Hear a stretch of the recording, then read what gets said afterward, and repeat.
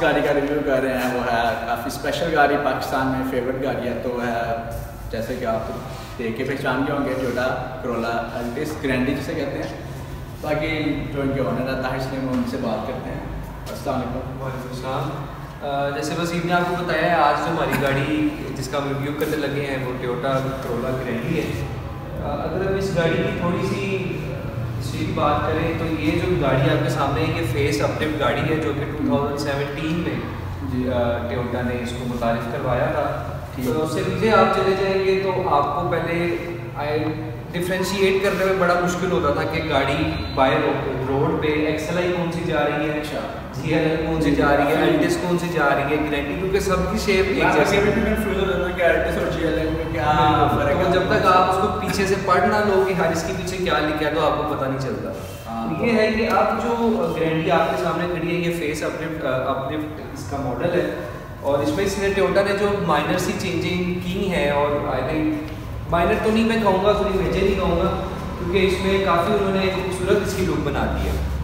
जैसे हम उसमें बात कर रहे थे कि इसकी जो स्लीक आती है तो ये टोयोटा की फैमिली में अब ये पता लगता है कि टोयोटा फैमिली है। क्योंकि ऑलमोस्ट एक्वा हो गई यारिस हो गई विड्स हो गई। विड्स हो गई सर। वो काफ़ी उसमें ये सेम यहाँ से रही ऑलमोस्ट सब गाड़ियों में ये यही सेम ऐसे बस वो एक थोड़ी लाइट्स की शेप चेंज कर देते हैं या हेल्प कर देते हैं बाकी उन्होंने मेन जो है ना जो वो सेम ही रखी हुई है। जो काफ़ी लोग पसंद भी करते हैं। बाकी अगर हम इसकी लाइट्स की बात करें तो लाइट्स इसमें बहुत खूबसूरत लाइट्स हैं। इसमें जीनॉन हेडलाइट्स हैं जो कि फॉर्चुनर के अंदर भी आपको मिलते हैं। ठीक है। और साथ में आपको D running light daytime running light आपको मिल जाती है जिसको डी भी कहते हैं। और साथ में ये बड़ी खूबसूरत यहाँ पे क्रोम के साथ ये इसके साथ मिल रही है और अच्छी चीज़ ये है कि जो इसमें फ्रंट कैमरा भी आपको फ्रंट कैमरा भी है। और ये इसके अंदर स्टैंडर्ड आता है आपको बाद में लगवाने की ज़रूरत नहीं मतलब ये ओरिजिनल है। वैसे फ्रंट कैमरा किस लिए फ्रंट कैमरे में ऑब्वियसली आपको समटाइम्स आप उसमें रोड नीचे नज़र आ रही होती। है फ्रंट में कितनी स्पेस आपको रहेगी? ठीक है पार्किंग के लिए हेल्पफुल फीचर है। और अब आगे नीचे इसमें बम्पर की तरफ़ आए तो आपको वसीम साहब फॉग लैम्प नज़र आ रहे होंगे। तो ये फॉग लैम्प भी इसमें स्टैंडर्ड आते हैं। और ये काफ़ी इन्होंने जो इसकी लुक है वो अग्रेसिव लुक बनाई है पिछली टोयोटा करोला ग्रैंडी से। और मुझे पर्सनली बड़ी पसंद आई ग्राउंड लुक इसकी ठीक है मतलब ग्राउंड पाकिस्तान के लिए।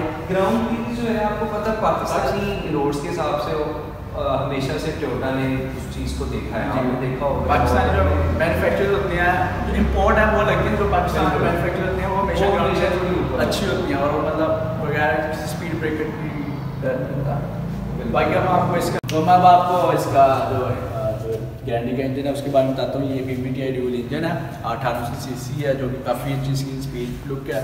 और इसकी मेन फीचर है कि इसके उन्होंने इंजन काफ़ी बड़ा है, जैसे आप देख रहे हैं। और इंजन को उन्होंने प्रोटेक्शन शील्ड लगाई हुई है वाटर से बचाने के लिए, कोई भी चीज़ से बचाने के लिए।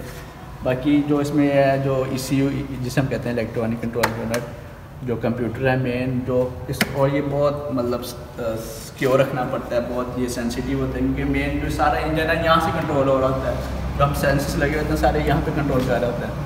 बाकी ये फ्यूज़ बॉक्स है, वो एयर फ़िल्टर है और इसके नीचे जो कवर के नीचे है वो आपको इंजन नज़र आएगा। बाकी इसमें almost anti lock braking system भी है और बाकी जो इसके ये मैं बताना चाहूँगी इसकी कैपेसिटी काफ़ी अच्छी है मतलब ये इजीली ओपन हम कर सकते हैं। मोस्टली हम देखते हैं कि जापानीज़ में मकैनिक के लिए जो हजरात उनको इंजन ओपन करने में बड़ा मुश्किल होता है, हाथ नहीं जाता मतलब जो नीचे से चीज़ खोलनी है, पहले आप ऊपर वाली खोल लेंगे मतलब इस तरह। लेकिन इसके लिए ईजिली असेसेबल है कैटेलिटिक कन्वर्टर है जो कि नॉइस एयर पोल्यूशन के लिए लगाता है। बाकी हम आप इसको साइड लुक के बारे में साइड लुक के बारे में बात करते हैं। बेसिकली जो इसकी टायर की लुक है लॉयल है वो भी काफ़ी अच्छा लग रहा है। इसमें जो डिज़ाइन है चीज़ इसमें आती है जी और मतलब ना उन्होंने मैंने देखा राइडिंग तो होते हैं लेकिन अच्छे नहीं लग रहे होते लेकिन इसके उन्होंने काफ़ी अच्छी उन्होंने डिज़ाइन लगाया है। काफ़ी एक फर्निश बनाया हुआ है। सिक्सटीन इंच के काफ़ी से खूबसूरत लॉयरिंग बाकी आप ये देखें ये ऑटोमेटिक साइड इंडिकेटर्स हैं लाइट्स हैं जो कि अंदर से मूव होती हैं। बाकी जो कि बाकी इसमें स्मार्ट एंड सिस्टम जो कि ड्राइवर साइड के डोर के साथ आता है। बाकी इसकी हम साइड पर फ़ाइल की बात करें तो इसमें जो पिछली गारंटी है उससे सेम और इसमें कोई इतना ज़्यादा फ़र्क नहीं है। अच्छा। सिर्फ़ जो ज़्यादा फ़र्क है वो हाँ, आपको नीचे ये स्पॉयलर आई थिंक उन्होंने एक्सपोर्ट्स टाइप लुक दिया है। मेन उसका यही फीचर होता है एक्सपोर्ट इसकी बैग स्पेशली मैं ये कहूँगा कि टोटा की बैग वो जो फ्रंट है उसमें uh, थोड़ा सा चेंज होता है लेकिन एक कंसेप्ट है ना वो एक सेम ही रहता है। तो मैं सेम वही लाइट्स हैं इसमें ज़्यादा डिफरेंस नहीं किया गया। जो जो डिफरेंट किया गया है पहले ये जो आप क्रोम लाइन देख रहे हैं ये डबल क्रोम लाइन थी। इसके साथ मिलके। अब उन्होंने एक क्रोम को जो है खत्म करके बॉडी कलर गाड़ी है उसके साथ कर दिया और एक सिंपल स्लीक सी उन्होंने क्रोम लाइन लगा दी है जो कि लाइट्स के साथ अंदर तक को आ रही है। बाकी जो नीचे जो फ़र्क है इसका एक दूसरा फ़र्क ये है कि नीचे की जो लाइट आ रही है ये एलईडी लाइट है। ठीक है? ये वाली जो पिछली आपको ग्रैंडी वगैरह में नहीं मिलती। बाकी ऑलमोस्ट शेप एक जैसे। बाकी ये लोग है जो अभी न्यू आई है इसका हाईरू आ रहा वो वहाँ पे भी रोला था जो उसका भैया ना और ये जो है lights braking lights braking lamps आपको मिल जाते हैं ब्रेकिंग तो आप इसका जो है बूट स्पेस बाकी अगर आप बम्पर बाकी इसका बम्पर ग्राउंड क्लियरेंस काफ़ी अच्छी है। जो उनके लिए अच्छी रहती है, जो मोस्टली मतलब जो माउंटेन्स या जो आउटडोर जाते हैं नौरान वगैरह, वहाँ पे आप देखते हैं कि पथरीला रास्ता होता है। वहाँ के लिए काफ़ी अच्छी है ग्राउंड क्लियरेंस बाकी बूट स्पेस आपको वसीम साहब बताते हैं स्पेस ऑलमोस्ट आप देखिए होगी हमारी पुरानी वीडियो यारिस है और बाकी एक्वा देखिए और भी जो जी एल आई की देखिए इसमें इसमें स्पेस सबसे ज़्यादा इसमें स्पेस मतलब उनमें थोड़ा फ़र्क है लेकिन इसमें काफ़ी स्पेस है आप इजीली इसमें मेरे ख्याल से हम लेट भी सकते हैं। सीरियसली बहुत इसमें अच्छी खासी स्पेस है। आपको टूल किट मिलेगी। जो हमें वो मिलेगी आपको इसके अलावा इसके नीचे मज़ीद हम जाएँ तो आपको स्पेयर टायर मिल जाती है टूल किट वगैरह। और इसे हम कहेंगे जो हम कहते हैं शेडर सनलाइट के जो हमें वो वो मिलेंगे बाकी इसके स्पीकर भी बैक साइड पे लगे हैं देख सकते हैं दो एक ये एक वो। तो बाकी हम आपको इंटीरियर के बारे में दिखाते हैं। बात करते हैं फर्स्टली हम यहाँ से शुरू करते हैं पावर स्टेरिंग से। तो हम ग्रैंडी के इंटीरियर के अंदर बैठे हैं और जैसे कि जैसे मैंने आपको बताया कि ड्राइवर के जो बैठ के सबसे पहले जो उसकी नज़र पड़ती है वो उसके स्टेयरिंग पे पड़ती है। इसका भी स्टेयरिंग जो है वो ऑलमोस्ट यारिस जैसा स्टेयरिंग है बल्कि यारिस का स्टेयरिंग ग्रैंडी जैसा है। और इसमें भी सेम वही मोड्स हैं। उसी तरह आप इसमें वॉल्यूम कंट्रोल बटन है मोड आप इंफोटेमर सिस्टम के चेंज कर सकते मैं आपको गाड़ी स्टार्ट हम्म। करके दिखाता हूँ। मतलब इसे प्लस टू इंस्ट्रूमेंट है काफ़ी ज़बरदस्त लगा मुझे। हाँ मतलब टेम्परेचर टेम्परेचर नया इसका इंस्ट्रूमेंट क्लस्टर है जिससे आप देख सकते हैं R P R P M meter है आपको का मिल जाता है आपको स्पीडोमीटर जो मैक्सिमम स्पीड आपको प्रोवाइड करेगी वो फोर्टी की है। उसके अलावा नीचे फ्यूल गेज है उसके अलावा अगर मोड की बात करें आप यहाँ पे जो इसकी सबसे अच्छी चीज़ जो पिछली ग्रैंडी में अच्छी नहीं थी वो यही थी इसमें एल ई डी काफ़ी बड़ी इसमें एलईडी है।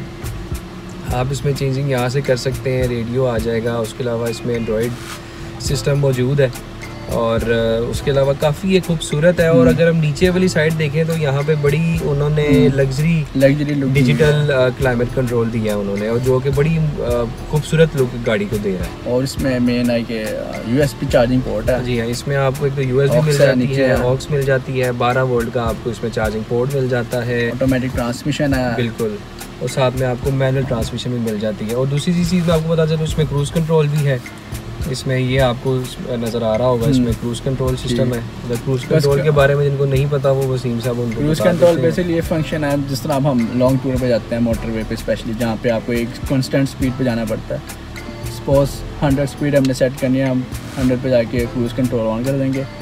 तो हम अपना पैडल पाँव से हटा भी लेंगे तो वो हंड्रेड तक रहेगा। फिर अगर हमने उसको छोड़ना है हम दोबारा प्रेस करेंगे फिर वो खुद ही क्रूज कंट्रोल ऑटोमेटिकली कट हो जाएगा। तो अभी मैं आपको बताता चलूँ गाड़ी जो है इस टाइम इको मोड पे है। ठीक है इसमें अगर आप यहाँ पे दिखाएँ यहाँ पे हमें एक ही हमें दिया गया स्पोर्ट्स का। नॉर्मल गाड़ी में ये होता है कि आपको नॉर्मल मोड अलग होता है इको हम्म। का अलग होता है स्पोर्ट्स का अलग होता है लेकिन इसमें इन्होंने एक ही स्पोर्ट का बटन दिया अगर हम इसको स्पोर्ट्स में दबाते हैं तो आप मीटर में देख सकते हैं कि मैंने बटन दबाया है तो सामने स्पोर्ट्स का लिखा आ गया है। जैसे मैंने बटन बंद किया है तो फिर चला गया। मैं आपको फिर दिखाता हूँ सामने लिखा आ गया स्पोर्ट्स का और ये बंद करने से फिर आपको यूँ चला जाता है। बाकी अगर जैसे हम स्पोर्ट्स मोड इसमें ख़त्म कर देते हैं तो इसका मतलब ये है कि ये गाड़ी नॉर्मल मोड इको मोड में इको मोड में बाकी अगर हम पावर स्टीयरिंग हैं वो पावर विंडोज़ हैं। पावर विंडोज़ हैं इसमें। अगर हम इसमें बात करें इसकी तो पावर विंडोज़ हैं। इसके अलावा इसमें ऑटो साइड मिरर्स के बटन्स हैं आप हम्म। यहाँ से कंट्रोल कर सकते हैं। Engine start engine start stop button इसमें आपको मिल जाता है और इसका एक मेन फीचर जिस तरह ये सन रूफ इसमें अगर हम। आपको ये दिखाएँ सनरूफ है इसमें जो कि इसकी गारंटी का एक आपको क्या कह सकते हैं सिग्नेचर स्टाइल है इसमें आपको जहाँ यहाँ से जो है हाँ ये ये देखें आप देख मतलब आप open हो काफ़ी जाएगी। अच्छा अगर मौसम हो तो आप यहाँ से ओपन कर सकते हैं और और ये ऑब्वियसली गर्मियों के मौसम हम्म। में कोई इतना वो ओपन नहीं होता हम इसको नहीं ये गर्मी में ए एसी चल रहा होता है अंदर। बिल्कुल। बाकी इसके जो डैशबोर्ड है वो भी काफ़ी मतलब डैशबोर्ड में काफ़ी काफ़ी स्पेस आप स्पेस है। उसके अलावा यहाँ पे कप होल्डर्स आपको मिल जाते हैं। आपको यहाँ पे से स्पेस मिल हम्म। जाती है। बाकी ओवरऑल गाड़ी देखी जाए तो ज़्यादा हम्म। चेंजिंग नहीं है पिछली वाली गारंटी से। हाँ बाकी इसमें सेफ्टी प्रिकॉशंस के लिहाज से एयर बैग सेफ्टी इसमें एयर बैग्स में भी आपको ड्यूल एयर बैग ही मिलते हैं। ठीक है। एक आपको यहाँ फ्रंट की डैशबोर्ड में मिल जाता है और एक आपको स्टेयरिंग व्हील में मिल जाता है। अच्छा तो इसकी करंटली क्या प्राइस है? इसकी जो प्राइस चल रही है जो हम इसको सेल कर रहे हैं फोर्टी थ्री ट्वेंटी फाइव में हम इसको सेल कर रहे हैं। और ये आपको तो इसकी फ्यूल एवरेज कितनी है? अगर हम इसकी फ्यूल एवरेज की बात करें मैं गाड़ी बंद कर दूँ क्योंकि इसमें ठीक है गाड़ी एक सेकंड अगर हम इसकी फ्यूल एवरेज की बात करें तो ये आपको शहर के अंदर इजीली आठ से दस आपको दे देती है एट एट टू टेन और अगर हम लॉन्ग पे बात करें तो बारह बारह तेरह इस तरह से आपको हाँ तो इसमें ये ट्रैक्शन कंट्रोल सिस्टम भी है मतलब जो बारिश वगैरह ट्रैक्शन कंट्रोल उसको ऑफ़ रोड में आप इसको ज़्यादा इस्तेमाल करते हैं। बाकी सीटिंग के लिहाज से काफ़ी कंफर्टेबल है आ, जी हाँ सिटिंग के लिहाज से काफ़ी कंफर्टेबल है। इसमें आप इजीली पाँच लोग बैठ सकते हैं लॉन्ग रूट पे भी और शहर के अंदर ग्राउंड क्लियरेंस भी काफ़ी अच्छी है। जी हाँ। करोला की आपको पता है ग्राउंड ग्राउंड क्लियरेंस में करोला मार नहीं मार नहीं खाता वो हमेशा अपनी पाकिस्तान को मैयर नज़र रखते हुए अपनी गाड़ी बनाता बाकी इसके एसी एसी वेंट्स की अगर आप वो वाली साइड दिखाएँ तो मुझे बड़ी खूबसूरत लगी है हम्म। इसकी। इसको जो है काफ़ी उन्होंने सर्कल में इसको इस तरह से दिया और इसको बंद करने का तरीका बड़ा डिफरेंट है। अगर आप इसको अंदर से घुमाएँगे तो ये फिर बंद अच्छा ठीक है। जी काफ़ी अच्छा और यूनिक स्टाइल दिया उन्होंने। बिल्कुल। और इसकी ये है? बाकी ये इसके स्पीकर्स आ जाते हैं। ऊपर आपको दो स्पीकर्स मिल जाते हैं नीचे बाकी चार डोर्स पे भी आपको हाँ स्पीकर्स मिल जाते हैं। में भी लगे हुए हैं दो मैंने जी हाँ। तो बाकी सीटिंग आप दिखाएँ पीछे। काफ़ी बाकी इसी इसकी जो स्पेस है पीछे काफ़ी ठीक है हेड रूम इसका अच्छा है लेग रूम इसका बेहतर है बाकी गाड़ियों से। अ, क्योंकि अगर इसको इसकी कंपेटिटर की बात करें होंडा सिविक की होंडा सिविक में अ, थोड़ा सा लोगों में होता है कि वो काफ़ी बैठ के आपको लो प्रोफ़ाइल क्योंकि वो हम्म। गाड़ी है थोड़ी सी डिफरेंट फील आता है उसमें। बाकी ओवरऑल ग्रैंडी जो है उम्मीद यही है कि आने वाले साल में ग्रैंडी का मॉडल एक न्यू मॉडल आएगा जो कि हम होप करते हैं कि ज़रूर आए। आ, लेकिन जो ये जहाँ तक इस मॉडल की बात है इस मॉडल ने भी पाकिस्तान में एक अपनी बहुत अच्छी मार्केट बनाई। बाकी मैं जो लेना चाहते हैं मैं ज़रूर प्रेफर करूँगा कि वो अच्छी गाड़ी है मुझे भी अच्छी लगी है स्पेस बूट स्पेस के लिहाज से भी अच्छी सीटिंग भी अच्छी है और मतलब वैसे भी हर कोई जानता है कि करोला हर जगह पे जा सकती है तो मतलब और रीसेल आप कह सकते हैं वैल्यू भी काफ़ी अच्छी है। तो बाकी इसके साथ हमें हमारा आज का जो ग्रैंडी का रिव्यू पूरा हुआ जाता है सब्सक्राइब करते रहें शेयर करते रहें आपकी स्पोर्ट चाहिए हमें ताकि हम आगे से आगे इस। तरह और बनाते रहें। तो मुझे मेरे दोस्त और हमारे कैमरामैन को इजाज़त दीजिएगा। मिलते हैं नेक्स्ट में अल्लाह हाफिज़। अल्लाह हाफिज़।